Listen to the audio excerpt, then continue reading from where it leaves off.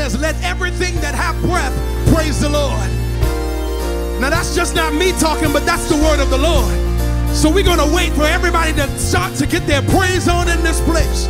Come on, hands should be raised, hands should be clapping, feet should be leaping for joy because we serve a mighty God. We serve a holy God. We serve a matchless King.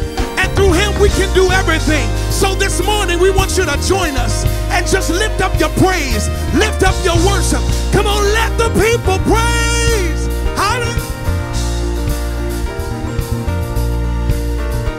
Hallelujah, hallelujah. Come on, clap. Everybody clap, clap. Everybody clap. Come on. We have come, give you praise, Holy One ancient of days.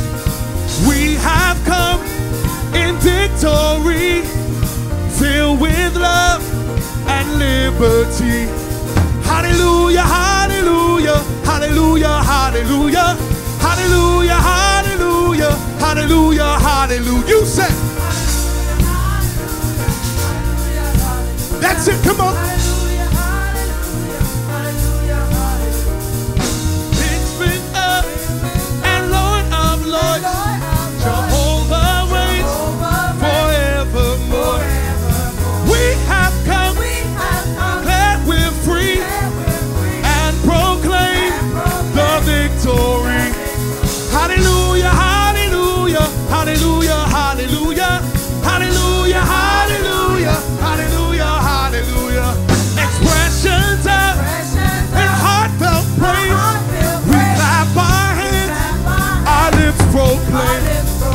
Praise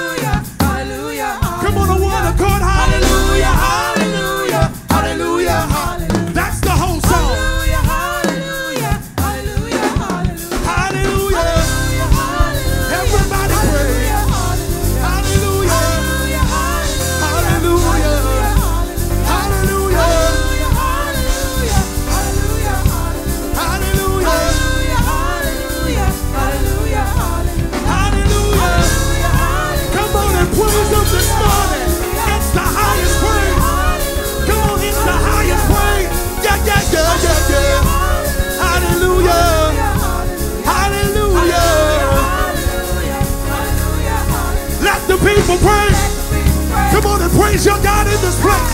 Come on and lift through, say, let the people praise. Come on, I still can't hear you. Say, let the people praise. Come on and lift his name on high. Say, let the people praise. Come on and clap your hands in this place. Come on, shout unto God with your voice of triumph.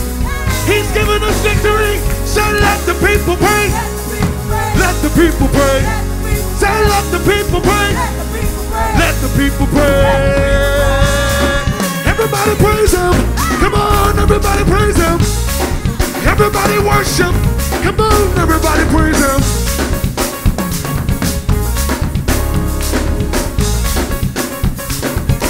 Hey, let the people praise. Come on and clap your hands. Come on and clap your hands. Come on and clap your. Say, let the people praise. Hey, come on and clap your hands. Come on and clap your hands. Let the people praise. Come on, you should be moving by now. Let the people pray. Come on, let the people pray. It's the highest praise we give your name today. Hey, come on, let the people pray. Let the people pray. Let the people pray let the people pray. Wave your hands. Come on and scream for joy. Let the people pray. Let the people pray. Come on, everybody praise him. Everybody praise him. Put your hands together like this. Put your hands together like this. Put your hands on it. Put your hands on it. Put your hands on it. Come on. Come on, Carolina, help us praise All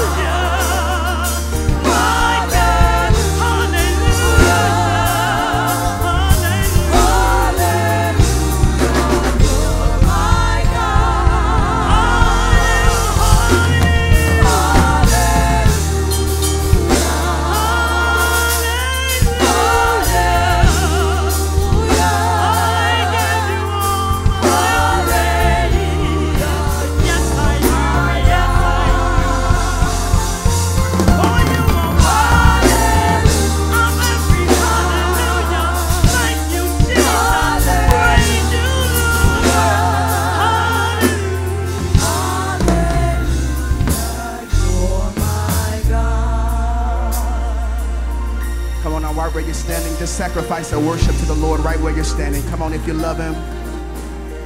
If you love Him, break it down just a little bit for me.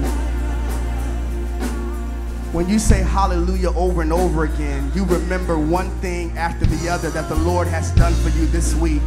Does anybody have at least 10 things to say hallelujah for this week?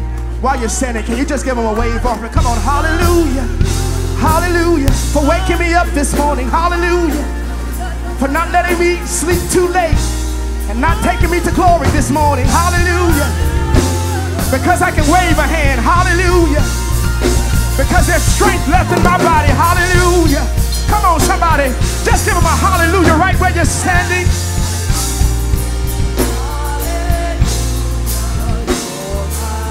Come on, one time from the top of that chorus. Come on. Hallelujah, say.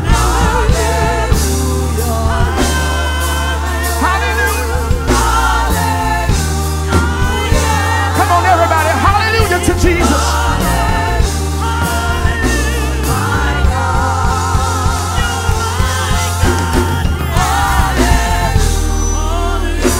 Father, we love you in this place today. We give you worship from your sanctuary. Now let everything that have breath praise the Lord today. Come on. Let everything that have breath praise the name of Jesus. He's holy. He's righteous. He's worthy. He's incredible. He's amazing. He's awesome. He's a bridge over troubled water. He's a walking cane. He's bread to the hungry, water to the thirsty. He's our very best friend, and he deserves the best we got today. Come on, he deserves the best we got, Carolina. He deserves our best praise today, Jesus. You're worthy. Hallelujah to Jesus. Come on. Hallelujah to Jesus. We love you, Jesus. We love you, Jesus. We love you, Jesus. I love you, Jesus. I love you, Jesus. I appreciate, come on, somebody. I appreciate your goodness. I appreciate your favor. You're worthy, Jesus. Before we have our seats today, I just want to see one more time the hands of you all that can say God has truly blessed you when you didn't deserve to be blessed, made ways when you didn't even think it was possible. When he when one door closed, you saw God open up a window. Come on. Can you just give the Lord a sacrifice of praise? Come on. We love you, Jesus. Hallelujah. Hallelujah to your name, Jesus. Hallelujah. Come on, come on. We're pressing in today. We worship Jesus. Hallelujah. Amen. On your way down to your seat, tell somebody I'm still excited. I made it to 2014. That's why I worship him. He's good. I know he's good. He is great. The old folks used to say, and there ain't nobody like him. Because friends will act funny on you, won't they? Family members won't pay you back. But Jesus is a friend that sticketh closer than a brother. Can we thank God for Sister Robin Ball leading us in that beautiful worship song today?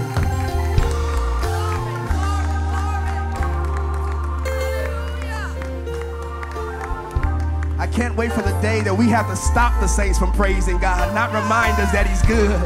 I can't wait for the day that we have to put a pause and a stop button on the praise.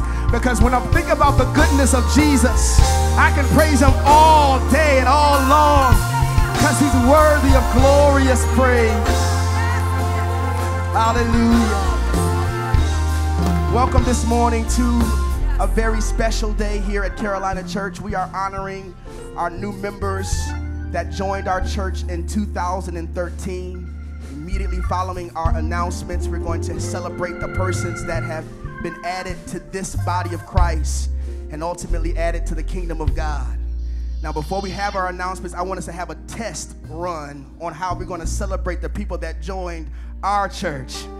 Because if they would have joined the church up the street, we don't have to be excited about that too much. But when we are growing and God is increasing us as we are praying for Him to do, He deserves some celebration on a day like this.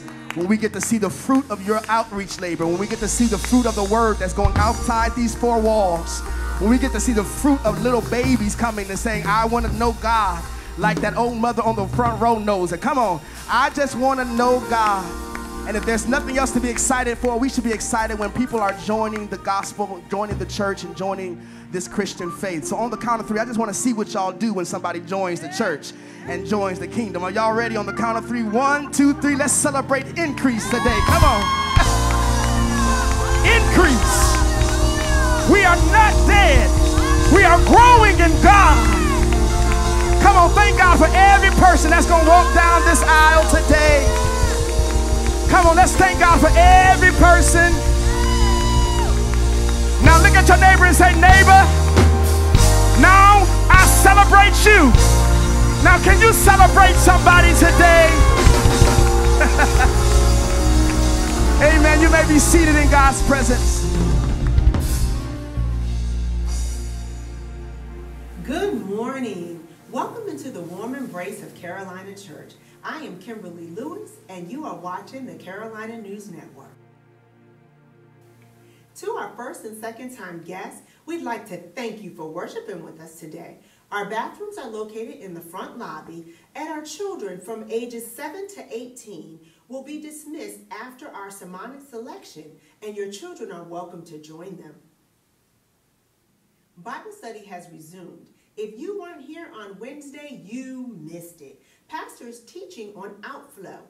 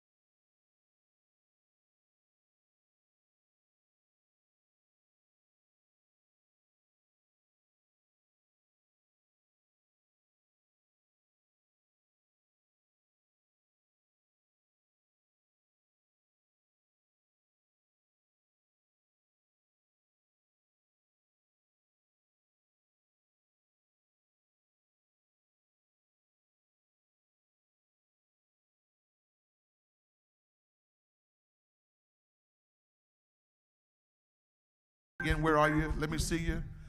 Listen, y'all, you are our special guests on today. We thank God for you. One more time, we praise the Lord for them. We thank God for them. We thank God for them. I'm going to ask, if you will, all of those who are visiting with us, this is your first or second time visiting with us, would you put your hand up real high? First Lady and I have a gift for you, real quickly. Just slip your hand up wherever you might be. Thank you.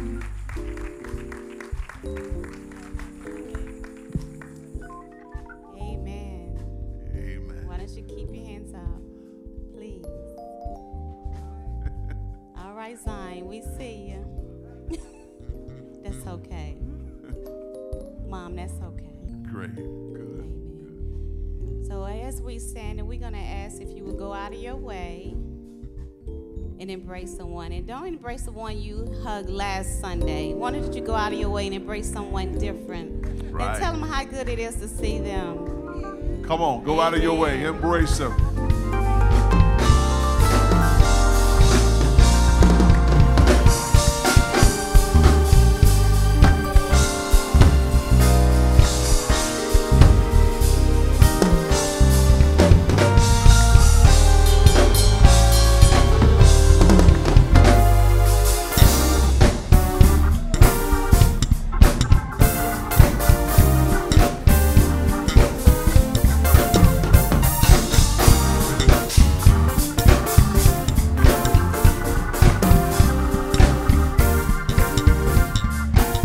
Welcome into the warm embrace of Carolina Church.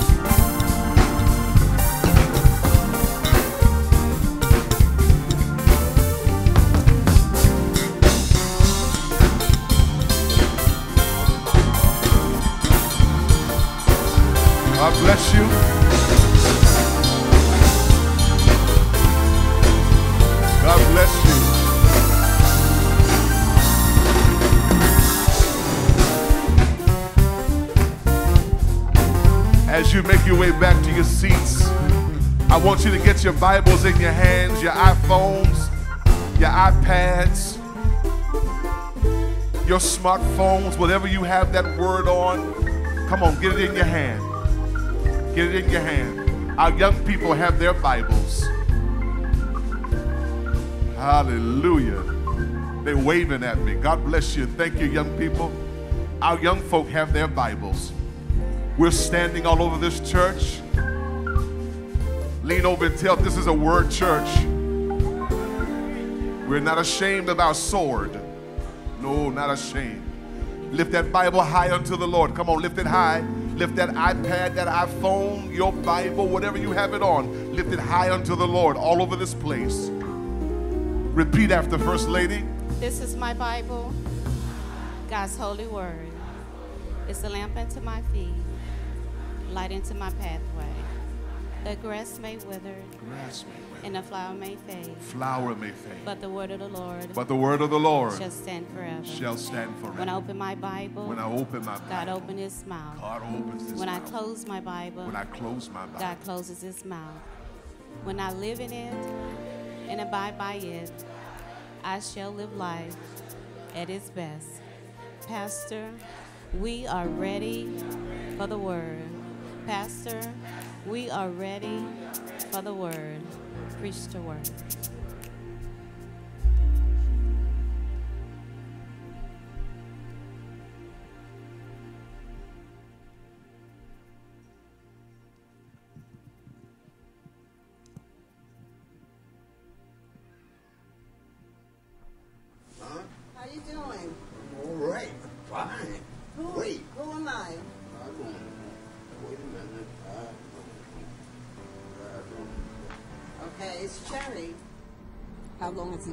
Nursing home? uh, approximately 10 years.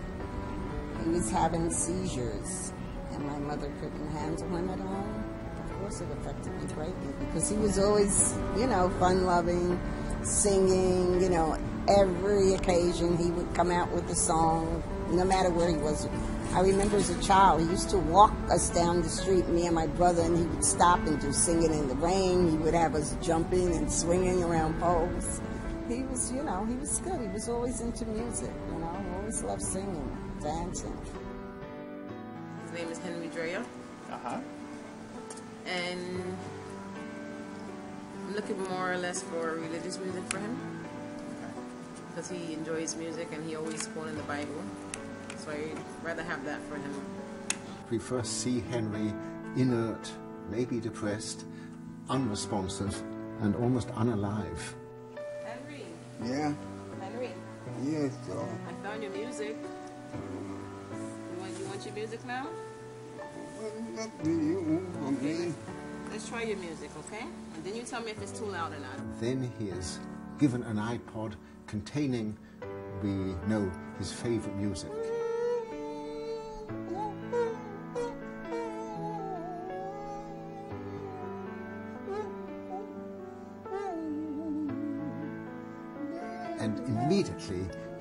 He, lights up. His face assumes expression, his eyes open wide. He, uh, he starts to, um, to sing, to rock, and to move his arms, and he's being animated by the music. and he used to always sit on the unit with his head like this. He didn't really talk to much people. And then when I introduced the music to him, this is his, his reaction ever since.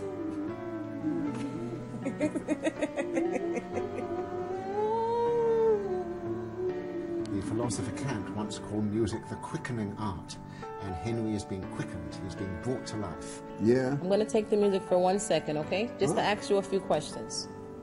Okay? I'm going to give it back to you. Uh-huh. Okay. The effect of this doesn't stop, because when the, uh, the headphones are taken off, uh, Henry, normally mute and virtually unable to answer the simplest yes or no questions, is quite voluble. Henry. Yeah. Um, uh, do you like the iPod? Do you like the music you're hearing? Yeah, music. You play beautiful music, beautiful sound. Did beautiful. you did you play music when you were uh, were you did you like music when you were young? Yes, yes, I went to big dances and things. What was your favorite music when you were young? Well, well, I guess, uh, well, Cab Calloway was my number one band guy I liked. They did the hold it, the holly, the the hold it, the the holly, the ah. Uh, what was your favorite favorite Cab Calloway song? Oh, I'll be home there for Christmas. Oh, you can count and plan on me with plenty of snow, mistletoe, present wrapped around your tree. Ow! So, in some sense, Henry is restored to himself. He has uh, uh, remembered uh, who he is, and uh, he's, he's reacquired his, his identity for a while through the power of music. What, what does music do do to you? It give me the feeling of love. No, no man. Figure right now the world need to come into music, singing. You got beautiful music here. Beautiful, oh, lovely. And uh, I feel the band of love, the dream. Lord came to me, made me holy. I'm a holy man. So he gave me this sound. So they say, I meet you. Let me see. Rosalie, won't you love me? Won't you be sweet?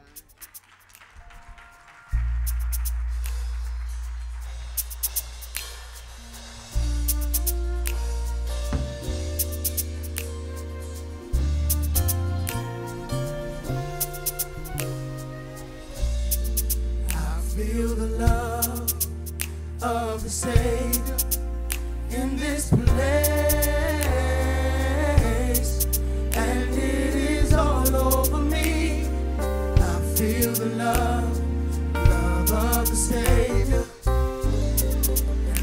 feel the Spirit of the Lord in this place,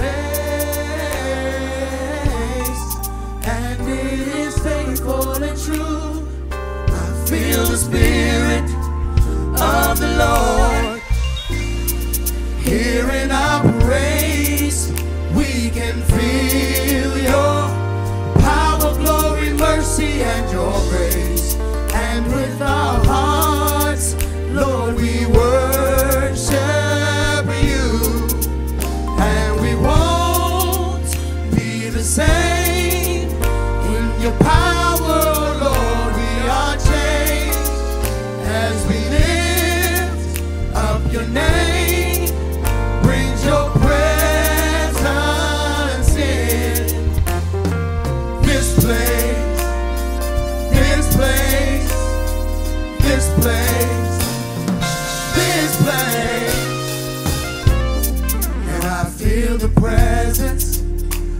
a king in this place, and there is joy evermore in the presence of the King. And I feel the hand of the Father in this place.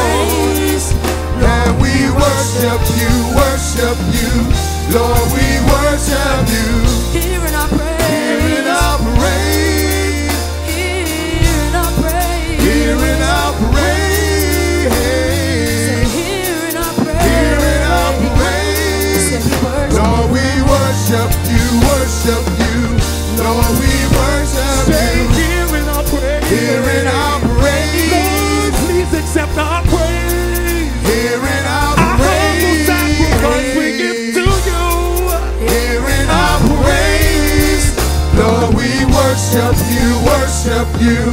Lord, we worship you. Hallelujah. Hallelujah.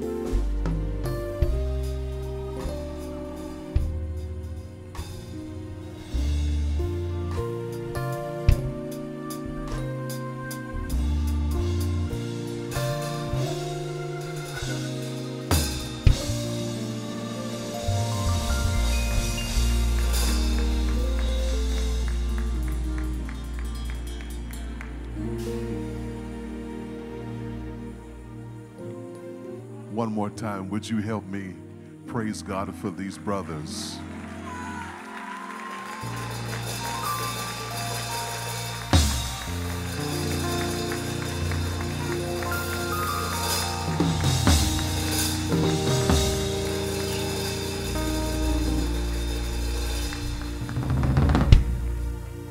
Listen, may I may I share with you that if you would like for your children to be a part of the youth ministry, we are very intentional about developing our young people and giving them a worship experience that they would be accustomed to. You can feel free to allow your children to join us in that celebration. One of our ushers or first and last impressions would be gladly to assist you if you need some assistance in allowing your children to go. It would certainly um, not be an inconvenience for us. Amen. Just so you all know that sometimes, as pastor is preaching, um, I am preaching to an audience of adults, and sometimes my language is for adults. You'll get that when you get home. Some, sometimes it's not conducive for your children to hear, Pastor, because I'm preaching to you on a level where I can reach you. But if you okay, I want to put that disclaimer out there now. So if I say something and you wish I hadn't said it, I warned you. Amen. All right, let's go forward. God bless you. I'm going to ask you if you would get your Bibles in your hands, if you will, get your Bibles in your hands. And um, I want you to turn to 1 Samuel chapter 16. And I want to zero in right at verse 13. 1 Samuel is found in the Old Testament. 1 Samuel is found in the Old Testament.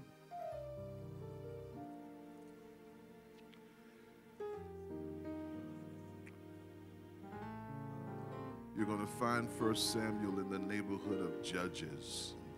Judges. You get to 1 Samuel, I want you to go right to, you'll see Joshua, Judges, 1 Samuel. I want you to look at um, chapter 16 for me.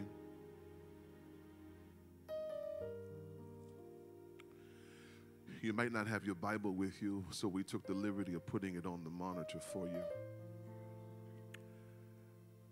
These brothers were something, weren't they? Wow. It was just three of them. Now, I wonder what we could do if it was 10 of them.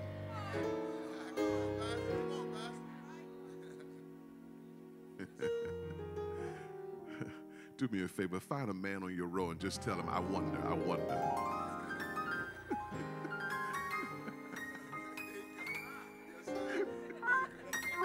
I wonder, I wonder, I wonder. I wonder, I wonder, I wonder, I wonder what we could do, Jamie, if there was 10. I just wondered. I was, I just started thinking in my mind, what would the sound sound like if it was if it was 10 brothers, you know, who didn't mind getting their serve on. I was, I was just wondering, yeah. Somebody said, he's preaching right now. He preaching. Yeah, yeah. So, so I figured if I, I think I'd just throw it out there for you.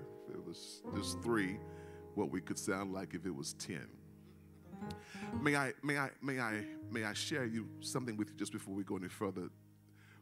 You notice that people are standing. They're not standing because it's a fad. They're standing because I have taught the people of God of this ministry that whenever the reading of the Word of God goes forth in a setting of this sort, that the proper thing to do in a worship setting is that when the Word of God is read, that you stand, not to reverence me, for I'm merely a man, but we do it because we reverence God. We reverence God. Now, do think about this for just a moment, young people. When, the bride comes in, we stand. When the judge walk in, you better stand when when when when the judge come in, we better stand. When the president of these United States, President Barack Obama, when he walks in, immediately we jump to our feet. Well, y'all, all of those persons, the bride, the judge, and Barack Obama, were created by our God. And so we stand to honor God. We stand to honor him. Look at 1 Samuel chapter 16, if you will. 1 Samuel chapter 16. And look with me at verse number 13. I started preaching this on last Sunday as a part of the series. It says, Then Samuel took the horn of oil and anointed him in the midst of his brethren. And the Spirit of the Lord came upon David from that day forward. So Samuel rose up. Samuel rose up. He rose up. He rose up and he went to Ramah. Then Samuel took the horn of oil and he anointed him in the midst of his brethren. And the Spirit of the Lord came upon David from that day forward.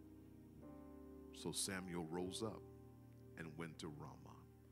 I want to preach to you all today um, from the subject, just so you all know. I a couple of weeks ago, I started this series entitled "Get Your Serve On." I preached about commitment was the first piece. Commitment. If you're going to get your serve on, you're going to have to be committed. I then went from commitment to callings. Callings. On last Sunday, I ministered to you from the subject cause, C A U S E. On today, I want to minister to you from the subject cost. Cost. Let's go over it again. I first started this series with commitment. Commitment. Say commitment. Secondly, we looked at the word, looked at callings. Say callings. Thirdly, we looked at cause. Say cause. And today we're going to look at what? Cost. You might be seated in the presence of God. Now, I want to share with you that if you are going to get your serve on, it's going to cost you. If you're going to get your serve on, it's going what? It's going to cost you. I want to be upfront with you from the beginning. I want you to know, Sister Harris, it's going to cost you to serve God. Do me a favor before I go any further, just go ahead in case your neighbor doesn't get this message any further than what it already is. Just tell them it's going to cost you to serve the Lord. It's going to cost you. I think I ought to tell you this, though, before I go any further. The reward, however, is far greater than any costs you're going to have to put out. Okay, let me let me do this again. Look look at your neighbor. Say, neighbor, it's going to cost you. Wait a minute. Now I can see I can see you. So now if I tell you look at your neighbor, then you go and look at your neighbor. Because pastor can see you. All right? One more time, y'all. Look at your neighbor. Say, neighbor, it's going to cost you. However, the reward is greater than any cost you're going to have. Amen. Amen. Amen. Amen. Now, now, let's walk, let's walk through this text, Brother Ralph. Let's watch this text and see what we can get and uncover cost that David had to pay. David had the anointing on his life, and he didn't even know it. he had the anointing on his life and he didn't even know it. God had already anointed David spiritually. God had already anointed David spiritually. Samuel comes along and he anoints David physically. But God had already anointed him spiritually. What Samuel did was a symbol, it was a sign of what God had already done. Samuel comes along, he sees David, he pours the oil on David, which represents the Holy Spirit. Here's what, that, here's what Samuel does. After going through all of the sons of Jesse, you have to get last week's sermon in order to catch up with me, but let me try to bring you up to date to some degree. Samuel goes and he anoints one of Jesse's sons. David, however, was not the first one that Jesse brought to see whether or not he was anointed to be king.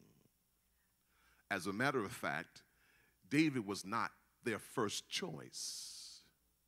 David, Latasha, was their last choice.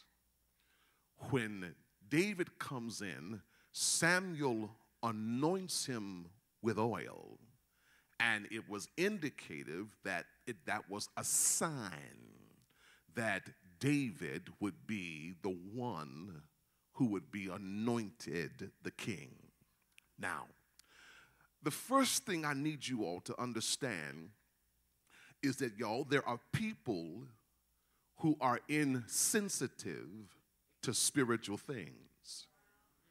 And because they are insensitive to spiritual things, they cannot detect your anointing. I want you to get this. This is very important. The first thing I want you to just go ahead and log down for me that there are people who are insensitive to spiritual things. And because they are insensitive, they cannot detect your anointing. Because some folk are just spiritually bankrupt. And folk who are spiritually bankrupt are insensitive to spiritual things. And because they are insensitive, they cannot detect your anointing. They can't detect it, y'all, which means then you can be anointed and the people around you not know it. You can be anointed and the people you love the most not recognize your anointing. I, I, think I ought to just back up for just a moment. I, I wish I could give you a review, but it would take too much time. Y'all, on last week, we discovered you, that everybody is what? Anointed. Everyone is what? So that means that even you are anointed. Come on, say to yourself, I am anointed. Y'all, that sounds good if you were trying to convince the monkey outside, but say it like you're convincing yourself and the devil. Say, I am. Anointed. Put your hand on yourself. Say, I am, I am. anointed. Y'all, which means that you can be anointed and the people around you who you love not know it. Now, just because they don't know it does not mean, however, you're not anointed. See, none of David's family knew he was anointed, including Kelly, including his own father, Jesse which is why he had David out watching the sheep while his other sons were being paraded in front of Samuel the prophet to determine and check to see which one of those were the anointed one. The people in David's community didn't know that he was anointed. Now, I want to give you something. Just because other people can't see it, don't mean you can't be it. I want you to pull out your phones and tweet that for me. I want you to tweet that for me. I want you to go ahead and put it out there in the atmosphere. Just because, just because folk can't see it doesn't mean you can't be it. Uh, I wish you get that in your spirit. Come on, come on, get get, it, get it in your spirit. Just because folk can't see it does not mean that you can't be it.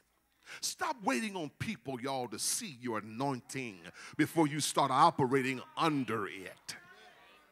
Family and friends can be so close to you that they cannot see what God wants to do through you. Jesus, on one occasion, on one occasion, said, Y'all, I came unto my own, and my own received me not. But to them that received and believed, to them I gave them power to become the sons of God. May, may I drop something else on you all? Yo, you can't tell the immensity of the forest while you're standing right in the middle of the woods. Sometimes you got to back up from it in order to see just how y'all immense the forest is. Please talk to me if you don't mind. You, you have to back up from it, back away from it in order to see it. There are people who are insensitive to spiritual things, and just because they can't see it doesn't mean you don't have it. Secondly, let me give you this. Secondly, I need you to know that there are some people who are insensitive to your anointing to the point that even when you have it, they will ignore and reject you.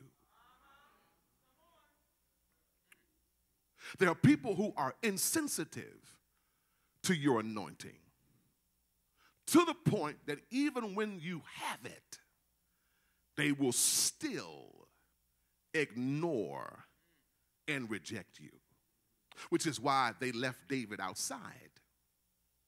David is outside watching the sheep, he's ignored, he's being rejected. And that's what happens with persons who have an anointing on their life. People will ignore you and reject you. Now, let me give you something else. Here's the good news, though. Just because they can't see it doesn't mean you don't have it. Now, get this. Though it may cost you rejection, God gives you acceptance. I want you to tweet that too. Get it out, tweet it, tweet it, put it in the atmosphere. Y'all, though it may cost you rejection, God gives you acceptance. too, too oftentimes, folk are too busy trying to reject and ignore you and keep you on the outside. Let me help you, y'all. Your anointing will cost you rejection, but it gets you acceptance with God. yeah, yeah, yeah, yeah. I, I, I rather have God than to have you.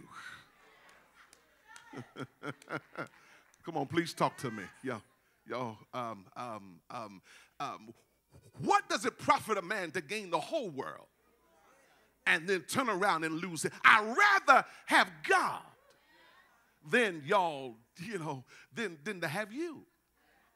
So if you reject me, it's a good sign I'm in the right crowd. Uh, because because y'all y'all it may cost me rejection but god gives me acceptance so stop letting people who are insensitive to what god is doing with you keep you from what god wants to do with you some people who are insensitive to your anointing will not only ignore and reject you, y'all, they will not only ignore and reject you, but also they will attack you. I, I want you to get a full picture of what your anointing will cost you. It'll cost you to be rejected and ignored. It will also cost you, y'all, to be attacked. Mm. Yeah, it, it'll cost you to be attacked. Y'all attacked. Y'all, and here's why because they sense your anointing. They attack you because they sense your anointing. I'll do it again for you. Y'all, they will attack you because you are anointed. They literally sense your anointing. They will attack you because you are anointed. Huh? Y'all, they sense your, they see God's hand on your life and they'll try to do everything they can to keep you from doing what God has called you to do. It's not that they don't see God's hand on you, it is because they do see it that they attack you. Y'all, the attack that you have been under is not because God hasn't uh, laid his hands on you. It's because God recognizes that, the, recognize that you have it going on. People see that God has his hands on you and they see that you have it going on. So they rather than join with you and celebrate you for the anointing God has on you, they would rather attack you. Now, you, you, you need to understand the reason why the enemy is coming after you is because he senses something about you. If, if you keep reading, if you keep reading, if you keep reading 1 Samuel chapter 18 and verse 19, if you keep reading those chapters, you'll discover that King Saul is trying to kill David. But here's why, Elder Pringle. Here's why. Because King Saul senses the anointing on his life. See, Saul is trying to protect his position. He's trying to protect his son. Saul's trying to protect his son's destiny, Jonathan. So Saul attacks David. Now, I want y'all to know something. David can't see it, but the enemy can see what's going on in David's life. Y'all, there are some of you who can't even detect the fact that you have an anointing. You can't even see it for your own self. But now, let, let me help you. The enemy sees it. Now, let me just ask you this, y'all. Is anybody up in here under attack by the enemy? Can, can, I tell you something, y'all? If the enemy is attacking you, it's because he recognizes something about you. And what he recognizes is that you become a threat to his kingdom.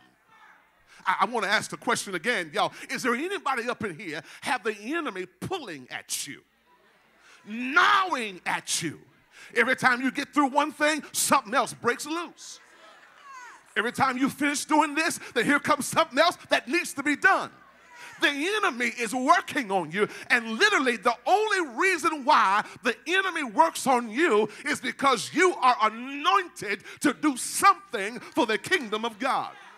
Now, if you are anointed to do something for the kingdom of God, it becomes the devil's responsibility to get you to a place where you don't do what you've been anointed to do in order to advance his kingdom.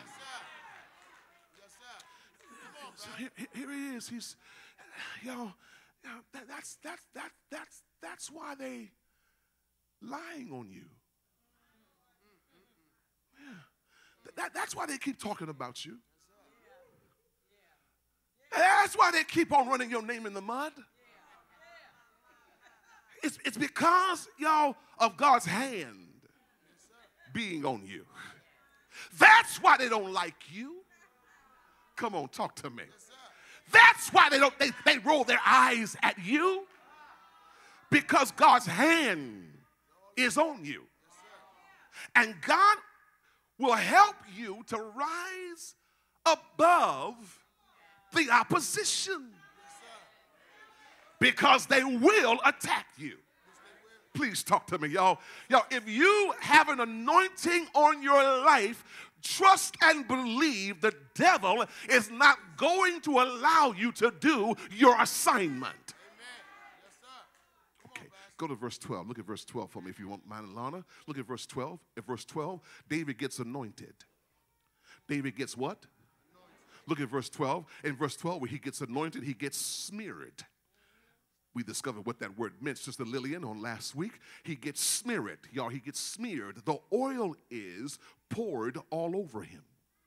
Now, go to verse 13, Rhonda. Watch verse 13. In verse 13, it says, The Spirit of the Lord came upon him. Y'all see that?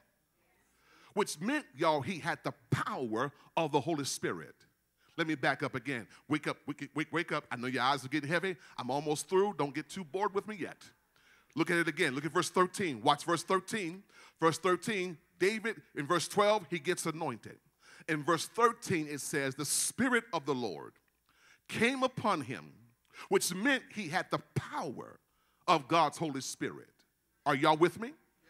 Now, that's good news to me because this meant that this wasn't just about symbols to David, it was substance. Look at it again. Yo, that simply meant it wasn't just about symbols, it was literally about substance. Substance. It's going to come on the monitor for you in just a moment. I want you to write that down. It's not just about symbols, it's about substance. Substance. Yeah, substance, substance. It wasn't just the signs, it was substance. Just so you all know, the oil was a symbol and a sign of the Holy Spirit. David just didn't just get the oil, but he also got the Spirit. Are, are you with me? Come on, y'all. See, see, if he had just gotten the oil without the Spirit, it would just be a symbol. But he got more than just a symbol and a sign. He got the substance. He got the Holy Spirit. The oil was a symbol and sign of the Holy Spirit. David didn't just get the oil, but he also got the Spirit. Didn't just get the symbol, but he also got the substance. Y'all, and too many of us are hooked on symbols that we have forgotten about the substance. Listen, y'all, the oil is a symbol, but it means nothing if you won't walk in the Spirit. The oil is nothing but a symbol and sign of the Spirit. We need the substance more than the symbol. Many of us are walking around with a cross around our necks. Some of us, some of us even have crosses tattooed on our bodies. Yeah, every, every time you turn around, you are you you you you you you're quitting though. Wait a minute, wait a minute, wait a minute. I got, I got a tattoo, I got a cross around my neck. And I have a tattoo on my body. But every time I turn around, I'm quitting. And I'm quitting because they don't like me. I'm quitting because I can't take the criticism. I'm quitting because they won't embrace me. Y'all, you want some easy road. Well, if that's the case, then my brother or my sister, take off the cross, change the tattoo. Because crosses were not meant for wearing, they were meant for bearing. Must Jesus bear the cross alone? and all the world go free? No, there's a cross for everyone, and there is a cross for me.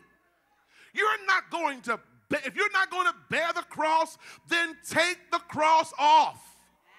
If you're not going to bear the cross, then don't wear the cross.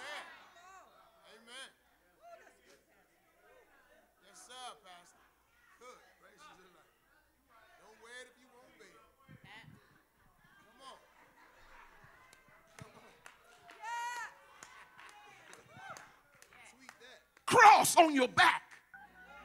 Here, go ahead and tweet that. If you're not going not going to bear the cross, then don't wear the cross. Tweet that. If you're not if you're not going to wear the bear the cross, then just don't wear it. Look at you. Cross everywhere. Come on, Pastor. What's that? Cross. Let me look at you. you y'all, we done got pretty crosses now.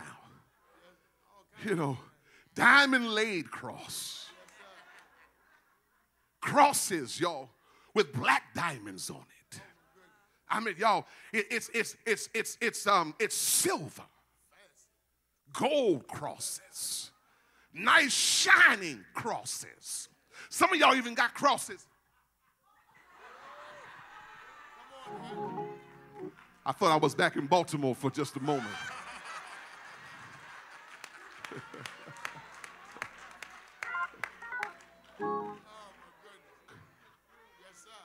the cross was never meant to be worn. The cross was meant for that which to be bared by us, bored by us. Man, here we are, here we are, here we are, here we are, here we are trying to get caught up in the symbols rather than the substance. Let me let me let me hang here for just one more minute. Y'all, it's kind of like um, baptism. Baptism is a symbol. Because you get baptized, don't no more make you more of a saint than a man from the moon. Now, listen, let me, let me help you. If I take you down, we, we got arguments about the amounts of water. Well, my baptism was sprinkled, mine was um, immersed. Um, I was baptized in Jesus' name. Well, I got baptized in of the Father, the Son, and the Holy Ghost. Y'all, let me help y'all with something. Y'all, baptism is a symbol. Are y'all hearing me? Baptism is a what? Symbol. symbol.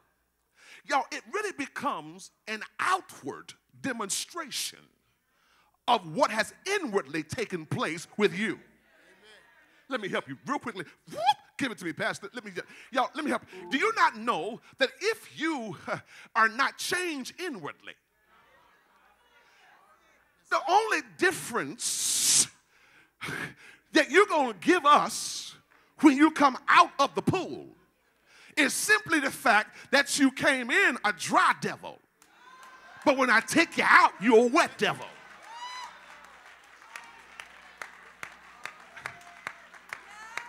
That's the only difference.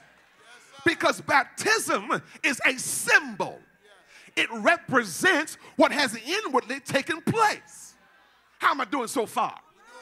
I'm gonna come for you. Let me just go, yeah, because I already see you. You know, you're so deep theologically. I'm gonna help you. Y'all, that's why the thief on the cross could get a ride to glory without ever being baptized, ever going to new members class, without ever y'all tithing or anything because the thief understood it ain't about my outward appearance, it's about what's going to take place on the inside.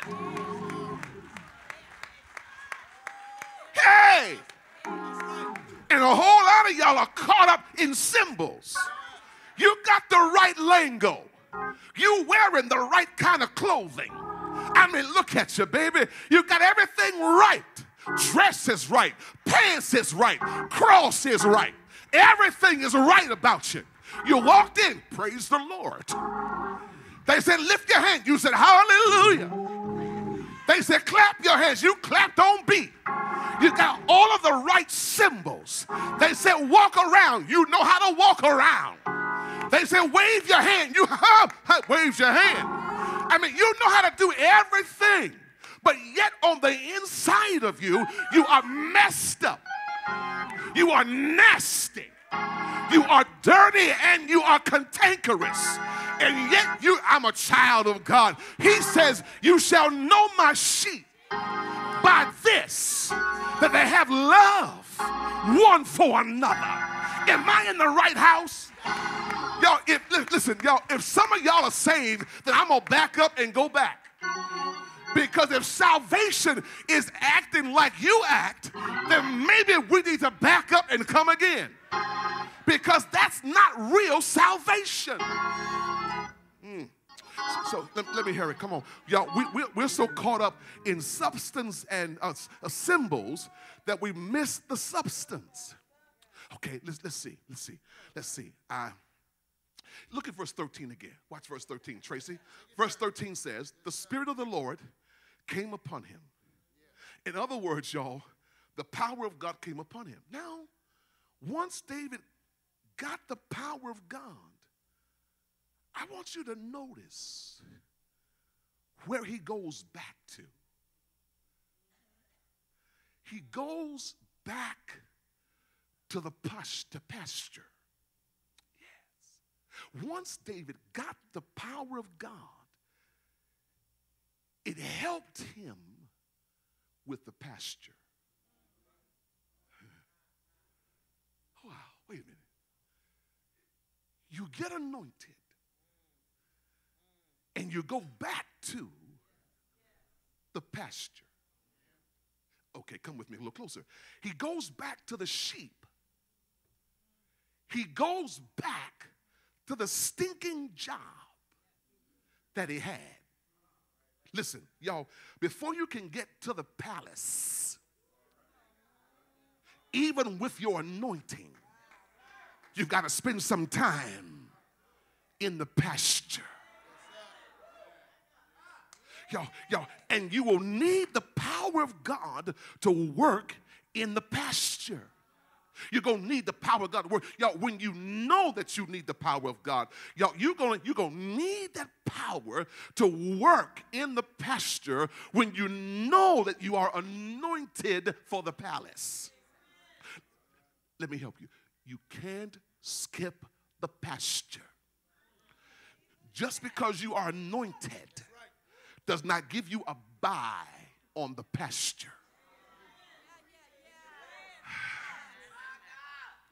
I want you to see the cost, y'all. Just because you are anointed does not give you a bye on the pasture. Y'all, here you are anointed for something better, but you have to stay in the pasture. Come on, please talk to me, y'all. I know you are anointed for something better, but you got to stay in the pasture. You need the power of God for that. You cannot skip the pasture because the lessons you are learning in the pasture, you're going to need them when you get to the palace. See, many of you are trying to get to the palace without a pasture experience. And I'm suggesting to you that you need the exposure of the pasture so you can learn what you need to learn in the pasture so you'll be able to stay in the palace when you get there. Yo, you, you, you'll be able to put up with anything when the power of God comes upon you.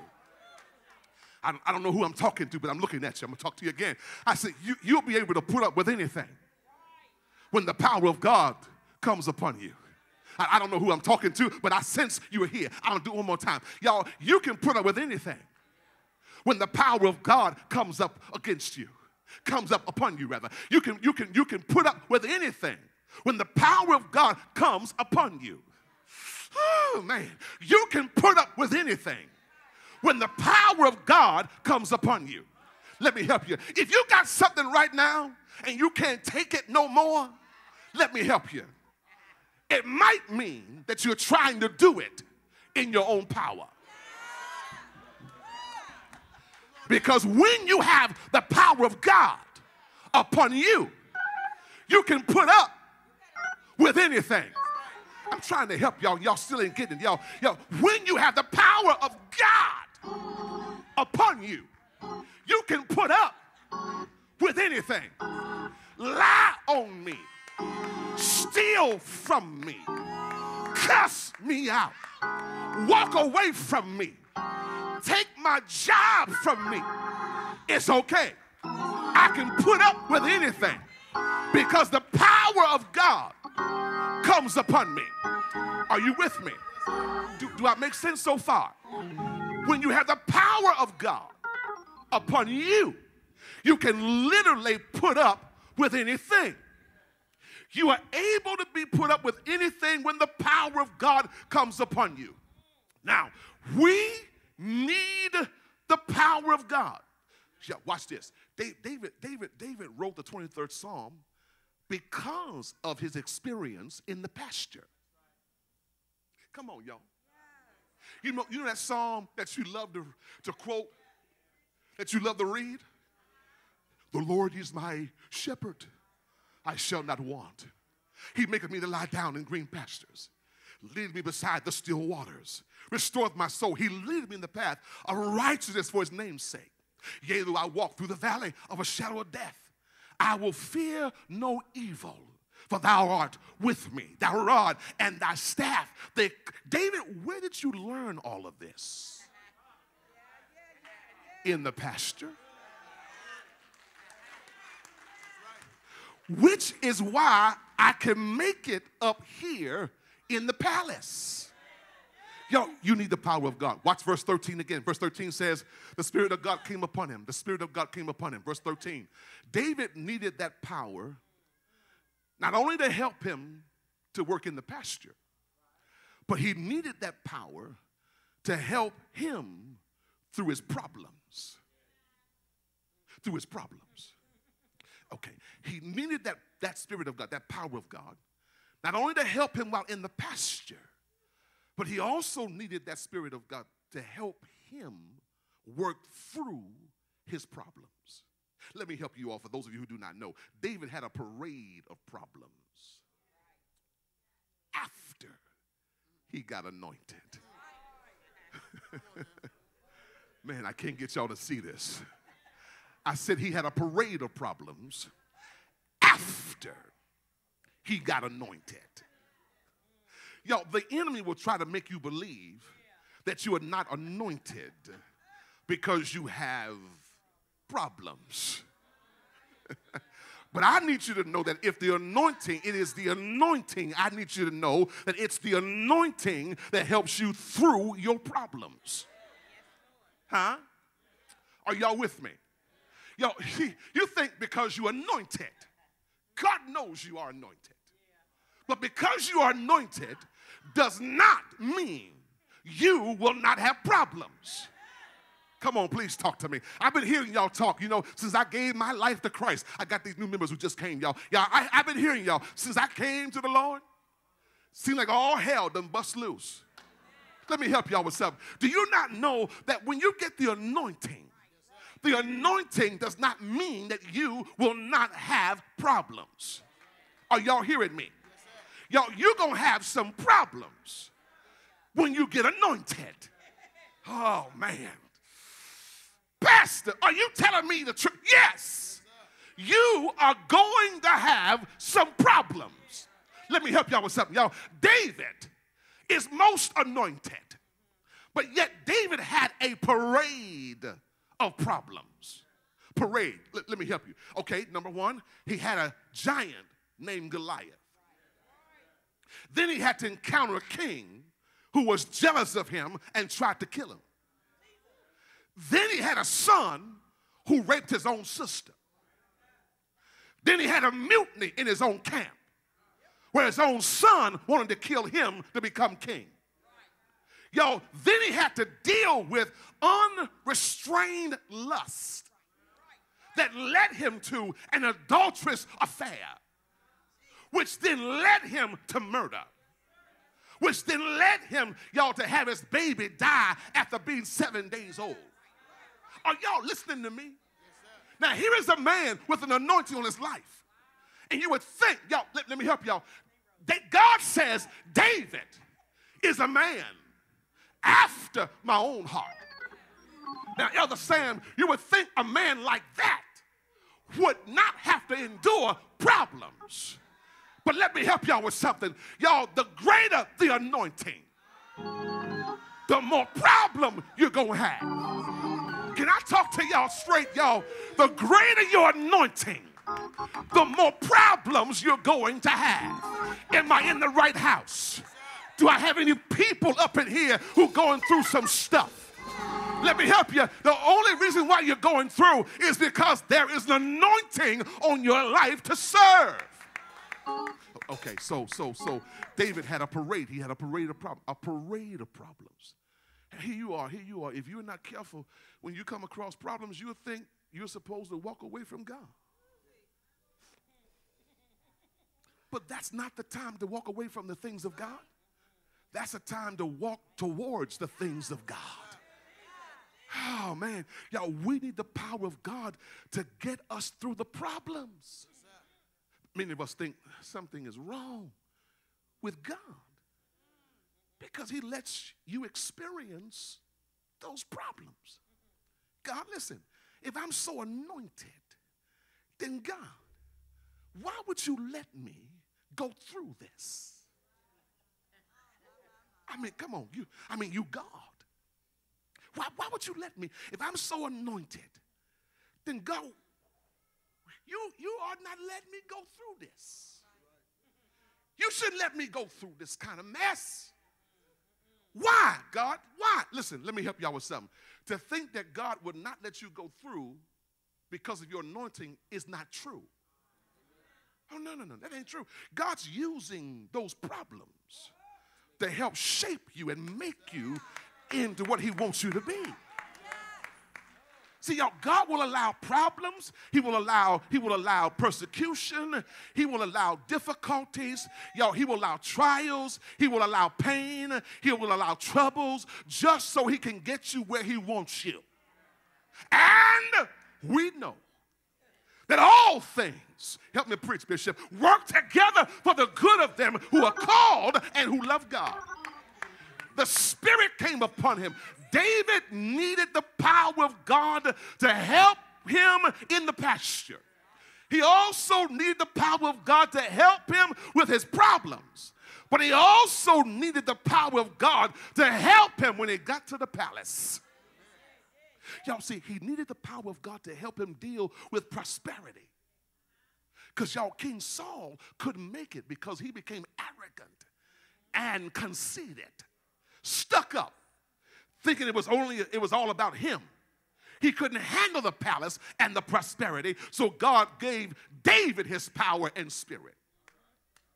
So that when he gets to the palace, he won't forget how he made it. He won't forget where he came from. Here's my last piece. My time is gone. Here's my last piece I want to give you. I want to share, I want to share this last piece with you. Pastor, you keep talking about power, but I don't feel like I have any power. And it's evident because I'm not doing anything. Listen, you have the power. That's how I want to close this. Pastor, but, I, but I'm not doing anything.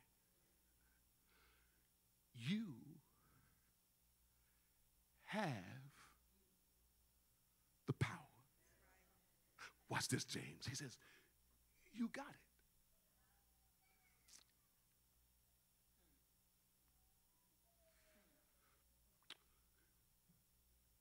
You have the power. This is my last piece.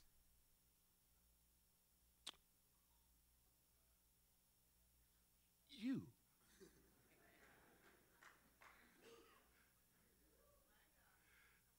It's the most profound thing that I have in the whole sermon.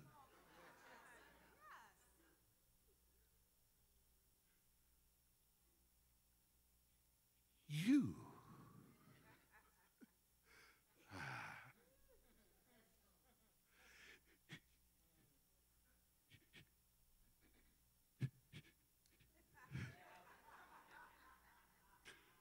You have the what?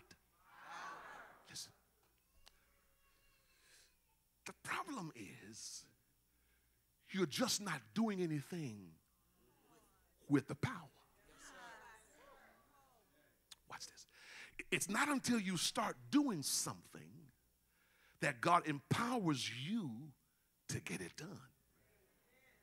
See, y'all, you want God to give you supernatural power to get it done. And God's waiting on you to get started.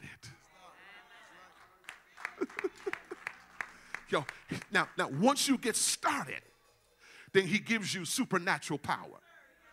Oh man, I, yo, I, I, know, I know, I know who I'm talking to. I know what you need. You need some power. I, I know you, you need some what? You need some what? Is there anybody up in here who needs some power? Let me help you with something. Y'all, he wants to give it to you. But you have to get what? Oh man, y'all, y'all, he wants to give you the power, but you have to get what? You have it, and you have to get, and once you start, then he'll give you the supernatural power. Now, y'all, let me help y'all with something. See, see, you said, oh why don't he just give it to me? Just give it to me. Let me. Can I tell you why? I'm sorry. First, ask me why won't he give it to you? That was a good one fourth of you all. One more time. Say, Pastor, why won't he give it to me? I'm glad you asked me that question. I love y'all because y'all asked me the right questions without me having to prompt you to ask me. Here's why. Here's why. Here's why. Here's why. Y'all, he won't give it to you because God's not into wasting power.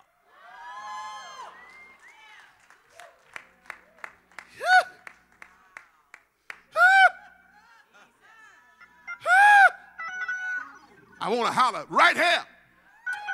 Y'all, in, my house, in my house, in my house, in my house, in my house, um, y'all, I am, um, I am, I, I'm the one who pay the bills.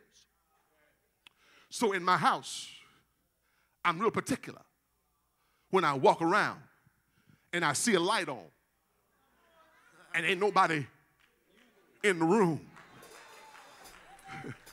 when I see the television on and ain't nobody watching the TV. Yo, I'm a little upset when I come home and I see the heat been up to 74, 75 all day and with nobody at the house. Yo, that, that kind of thing gets to me. You know why? Because I ain't into wasting power. Do I have any help in the house? Now, I'm only talking to folk who pay bills. If you don't pay no bills, I ain't talking to you because you have no clue about what I'm talking about. But if you are the one paying the bills, you ain't used to wasting power. Well, now, if you ain't used to wasting power, I just stopped by Carolina Church to tell you on this Sunday that God's not into wasting power. Why would God give you your power if you're not going to use it? He's looking for somebody who will avail themselves to be used of God. Now, I want to know this, y'all. Is there anybody up in here who is determined God, I need your power. I got some stuff in my life. I need your power. I need your power in my house. I need your power in my home. I need your power in my family. I need your power in my marriage. Is there anybody up in here who need God's power in your wallet? I need you in my finances. God, I need your power. Well, God said, I want to give you my power, but I got to get you to get started first. Hey! Hey! Hey! Hey! Hey! I need your power. I need your power. Let me ask y'all something. How much power do you need to put on your Sunday best and walk up in here, sit down and do nothing? I want to ask you something as I go to my seat. How much power do you need to sit up in here and listen to me preach? How much power do you need to sit up in here and have the choir sing to you.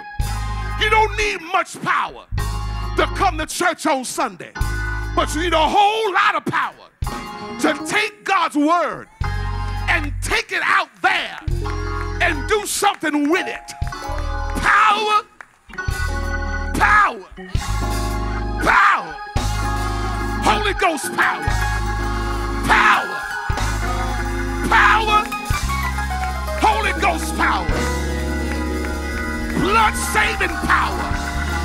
Say power. Woo! Woo! I want to give you power. I want to give you power. But you have to first get started. Because God ain't into wasting power. Would you help me tell somebody? Look at your neighbor say, neighbor, God wants to give you power, but he ain't into wasting power. Woo. Hey, gotta go.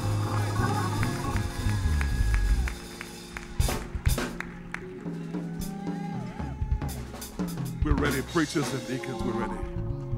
We're ready, we're ready, we're ready. Everyone standing.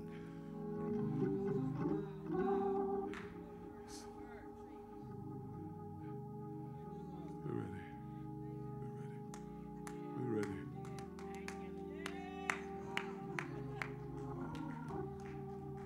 It's gonna cost you.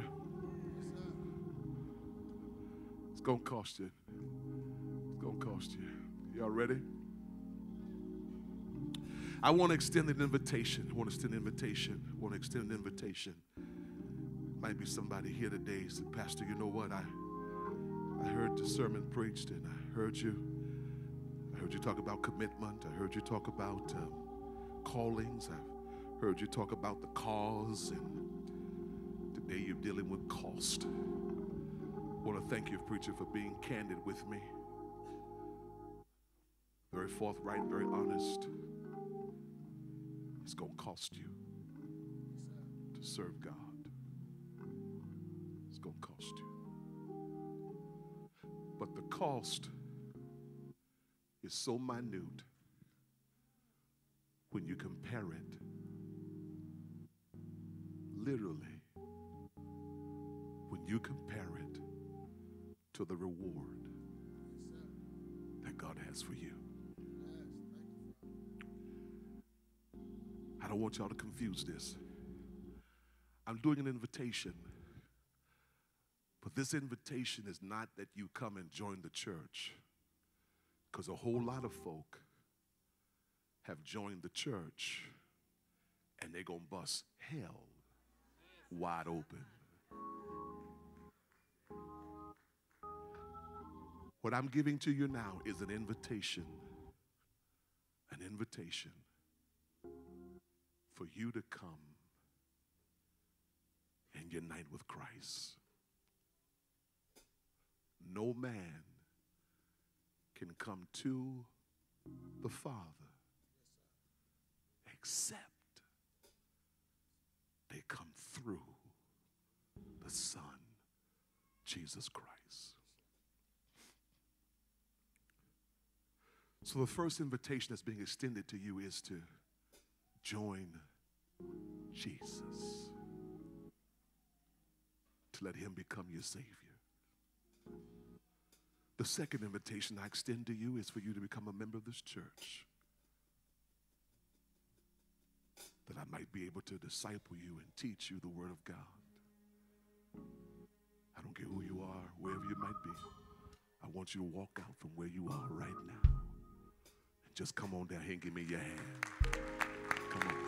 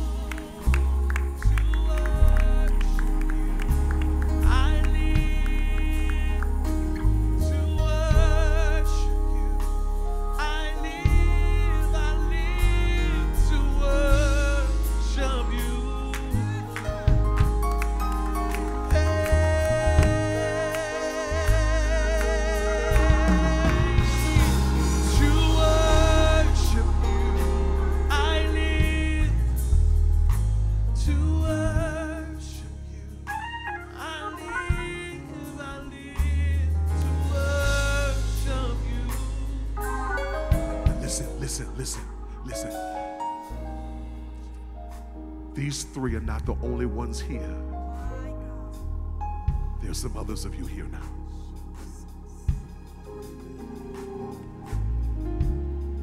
This is your day.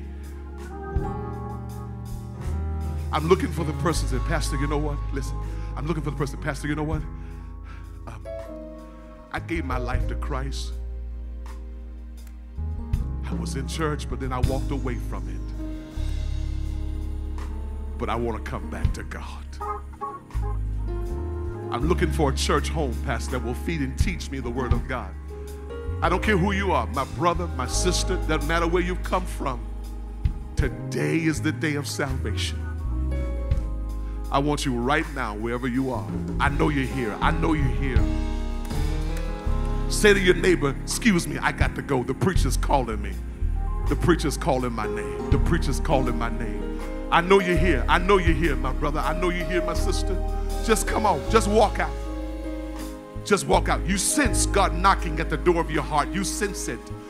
You're trying to ignore it, but you sense it. You see something welling up on the inside of you. You're trying to ignore it, but you can't. He's knocking at the door of your heart. Would you help me for a moment if you don't mind? I want you to ask your neighbor just two questions for me, just two questions. Ask them two questions. Number one, are you saved? Two, do you have a church home? I want you to look them in their eye. Don't let them turn away from you. I want you just to ask them, are you saved? Do you have a church home? I want you to wait for an answer. If your neighbor says, no, I'm not saved, or no, I don't have a church, I want you, my brother, my sister, I want you, I want you, I want you. If you would, if you would just say, hey, listen, you know what? Can I walk with you down front? I love you too much to let you sit here or stand here and, and with the possibility of dying and spending eternity in hell. Two questions Are you saved? Do you have a church home? I want you to wait for an answer. I want everyone now, find somebody, minister to them right now. Come on, minister, turn to them. Are you saved? Do you have a church home? If the Lord says to you right now, you need to reunite with this ministry, I want you to walk. I want you to walk. Don't put it off any longer. Don't put it off any longer. You walk, you walk, you walk, you walk. The Lord's calling you. He's calling you.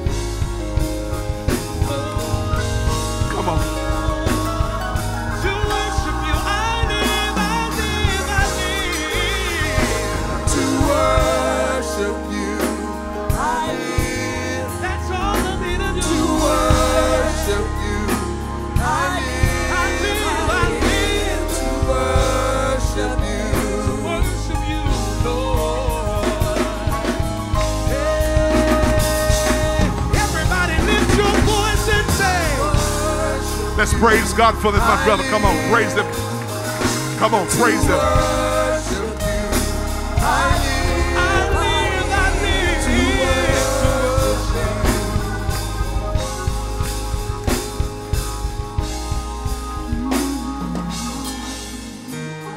Listen. Yeah, come on, let's do that. Right there. Come on. Oh. yeah, come on.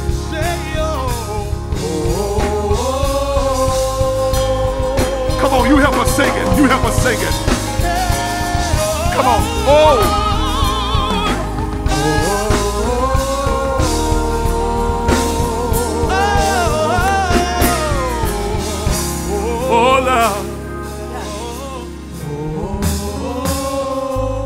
Listen, would you do me a favor? I want to make the devil really mad.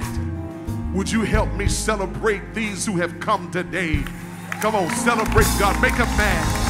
Make the enemy mad. Make the enemy angry. Come on, make him mad. Make him mad.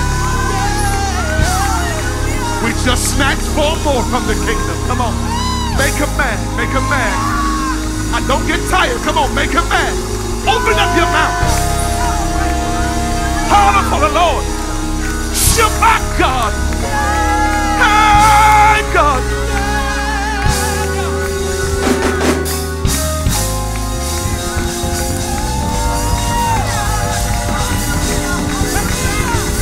Yeah, yeah, yeah, yeah.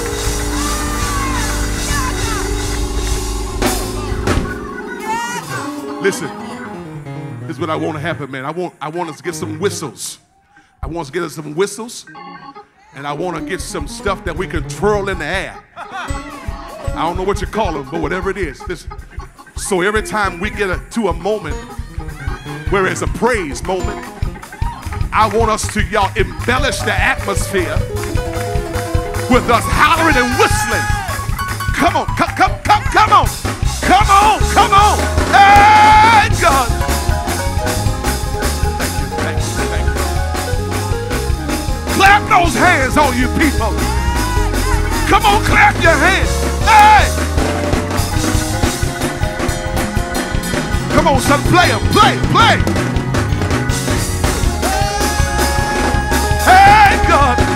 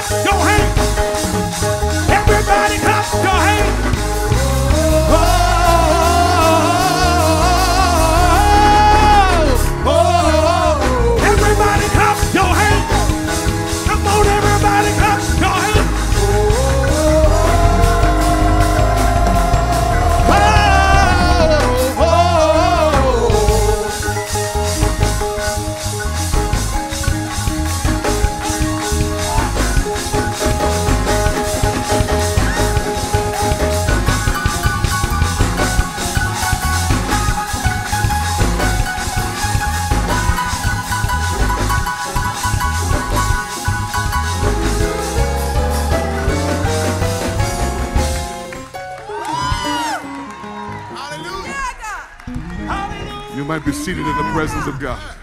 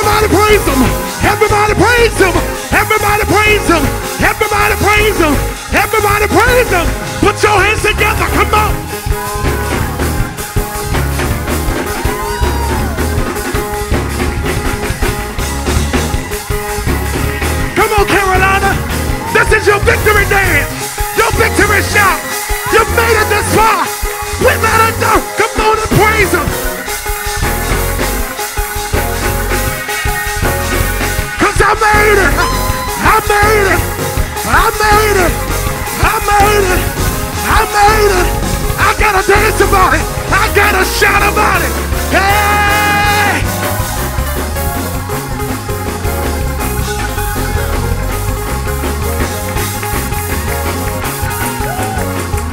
I made it! I made it! I made it!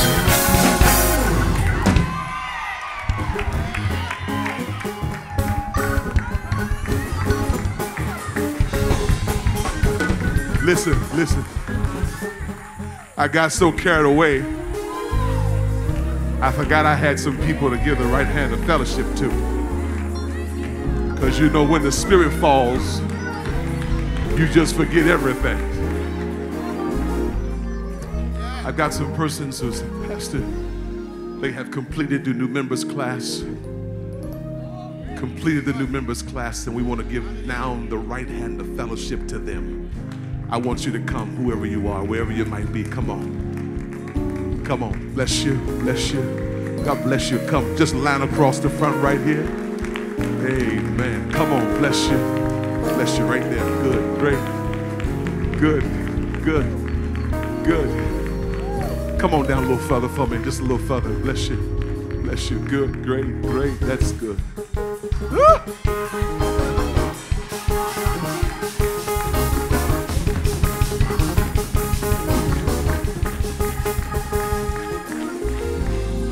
Listen, I tell you all, the time, you miss your cue in shouting. You miss it. When you saw these folk walk down, in addition to the 47 odd folk who joined 2013, you ought to be giving God praise right where you are.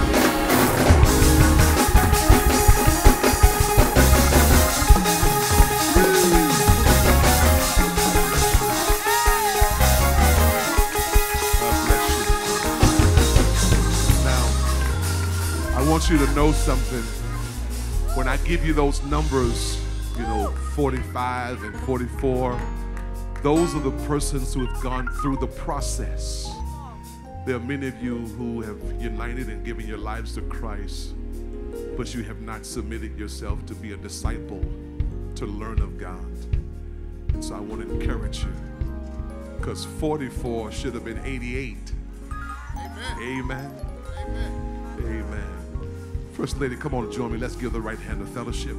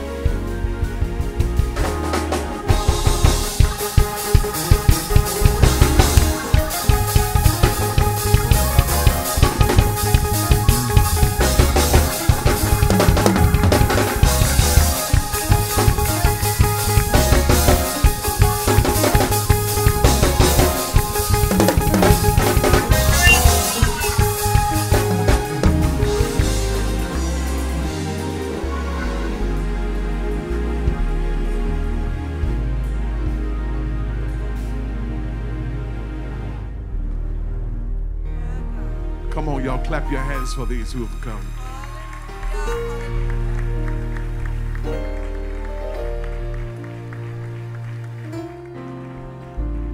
We're presenting to each one of them a certificate that simply says this certificate is being issued to the new member's name, has successfully completed the new members foundation class, has become a covenant member of the Carolina Missionary Baptist Church. 9901 Allentown Road, Fort Washington, Maryland. Awarded this Sunday, January the 12th, 2014. Each one of these will get a certificate framed as such. Ah.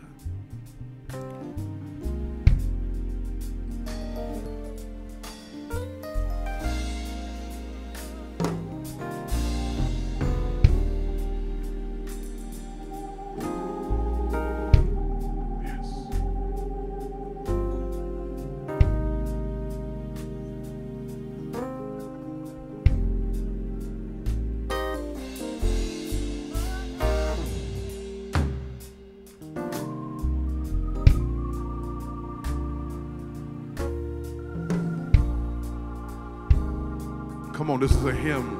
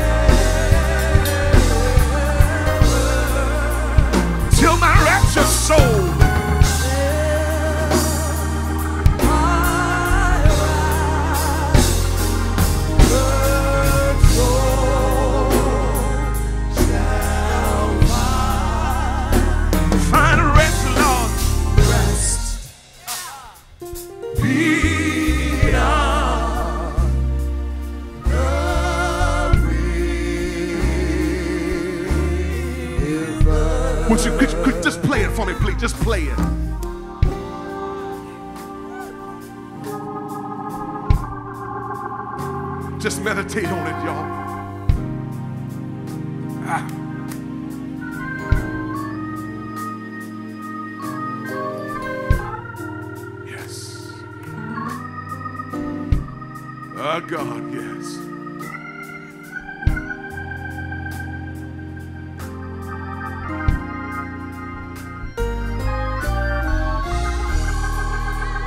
Till my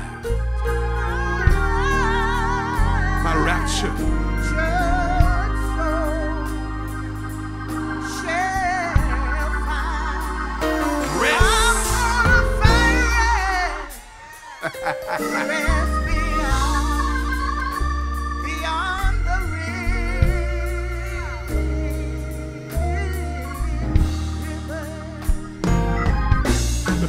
listen, listen, y'all. Bible says that Jesus took bread, he broke it, gave it to his disciples, and said, Take, eat. This represents my body. Bible says in the same manner he took also the cup, gave it unto his disciples, and said to them, Drink ye all of it. It represents my blood. He then told them, As often as you do it, do it in remembrance of me. Reach out and take the hand of your neighbor.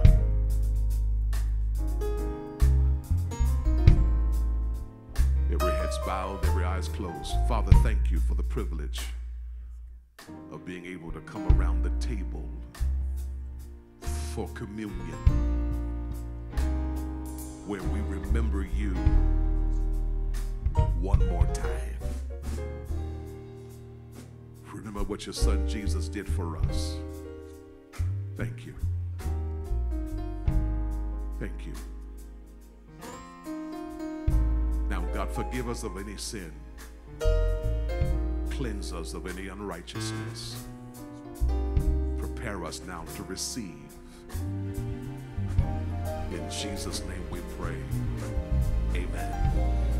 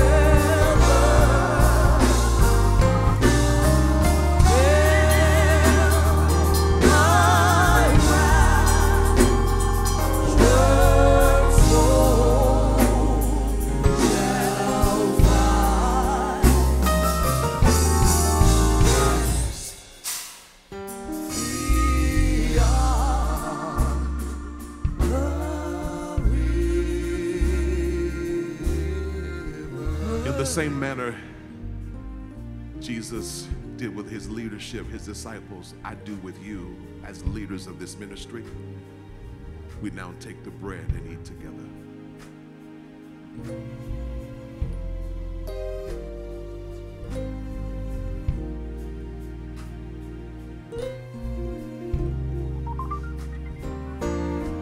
In the same manner, we also we take the cup. Jesus did with his disciples, I do with you. This cup represents his blood. There's power in the blood of Christ. Shall we now bow and drink together?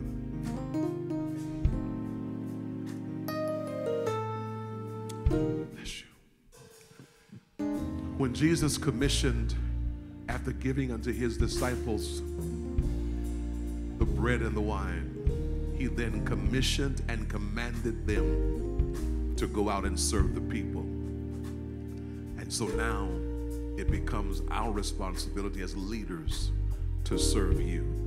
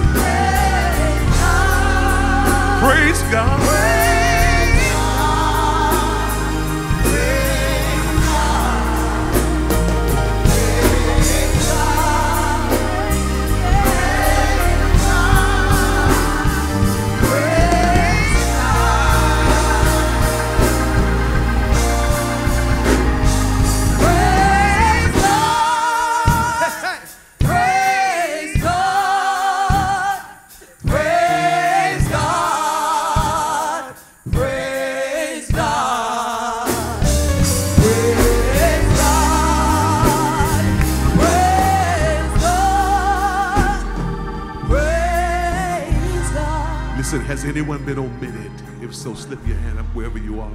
If you've been omitted, the choir bless you. Yeah.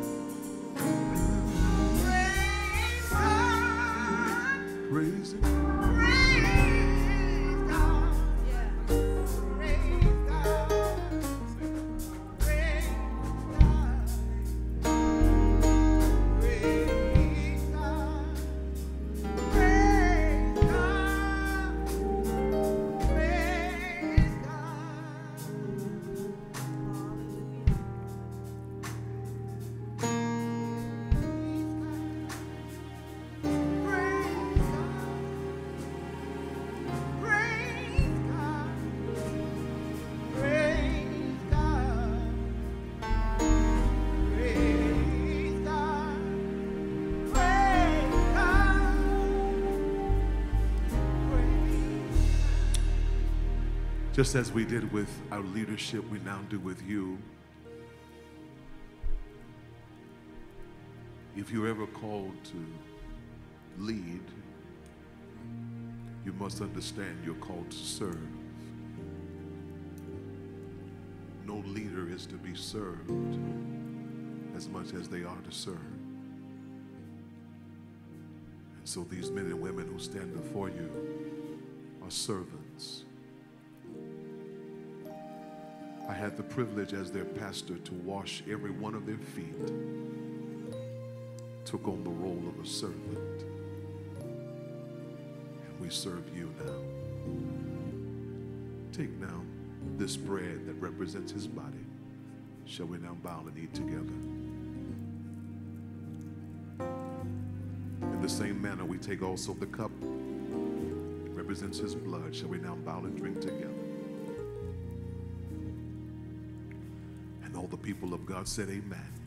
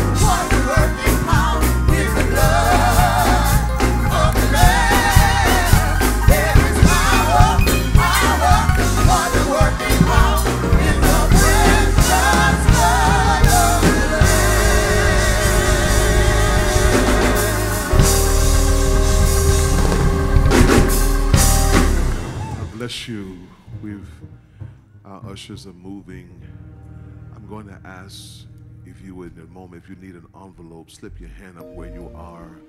Our ushers are coming with envelopes. There are persons down front who need one. Grateful for your presence. Bless your name.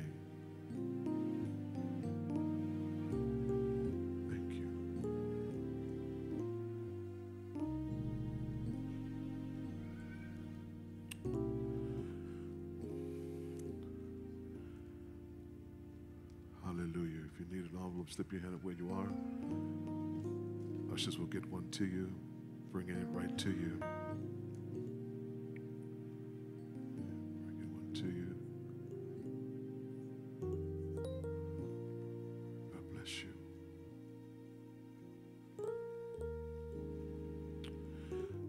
In fact, are receiving the tithe and the offerings. I do want you to know, just so you all know, no one's walking during this time. Give me one second, son. We'll be out of here in just a moment. During this moment, we ask that you not walk. Here's why it's a security reason. Um, and so we need to be certain. I promise you, to get you out in just a few minutes. Um, if it's an emergency, we understand. But if you can just hold it, if you can ask your bladder, hey, give me two more minutes. I promise you it's going to be all right. Now, if you have to go, if you just have to, we'll make the necessary exception for you. But if you can hold it for me, you can use your debit card. We do not allow you to use credit to do your offering or your tithes here. The reason we don't let you use the credit card is because that ain't your money. It's not your money, that's somebody else's money. And if you're going to give God a tithe or give him an offering, it ought to be from what's yours. I'm going to ask you to start out the year 2014 right. Y'all hear me? I want us to start out the year of 2014 right.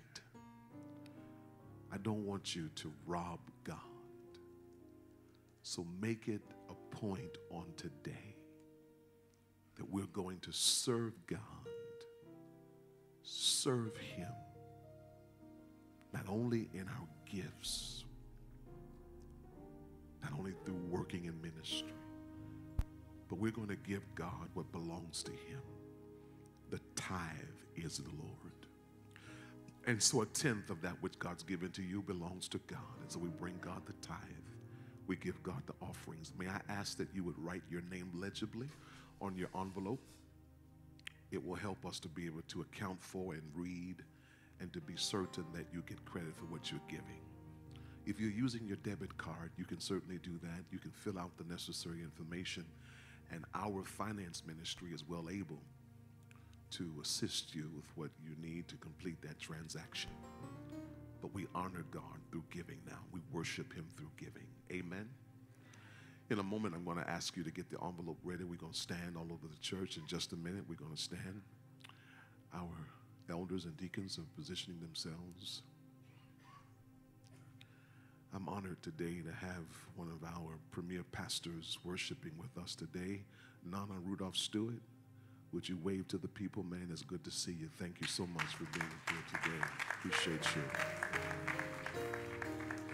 He's a preacher who has been here and preached to us many times before. He was here the last time he asked you all to lie to me. I wasn't here. That's why I hadn't brought him back yet, because he he know you don't ask the people to lie to the pastor. He told the people, the pastor asked how did he did, you tell him I didn't do too well. And uh, maybe he'll bring me back. But if you tell him I preached the house down, he may, he won't bring me back. So I he hadn't been back yet either. He hadn't been back. Amen. Amen. We're grateful for his friendship. I'm always honored whenever pastors stop by here to get refreshed.